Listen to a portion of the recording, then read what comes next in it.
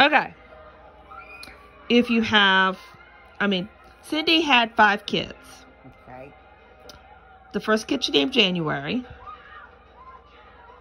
The second kid she named February. Third kid she named March.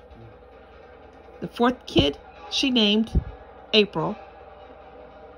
What is the fifth kid? May. No. No. What is the name of the fifth kid? May. No. What is the name of the fifth kid? What is the name of the fifth kid? Yeah. What? Is What is? No, I'm not asking you a question. What is the name of the fifth kid? I'm not asking you a question. I'm, I'm telling you. May. No, and I'm telling you what. So what's the punchline?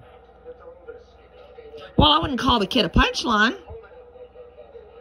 Well, the story's got a punchline to it. It's not a story, it's a riddle. So it's January, February, March, April, May. The fifth one is May. No, what? A girl. No, what? A What baby. is the name's kid? I mean, what is the kid's name? The kid's name is May. No, it's what?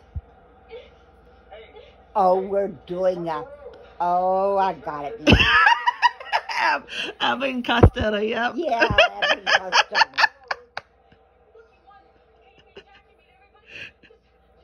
that's funny. I play on an old baseball thing. yeah. Old joke.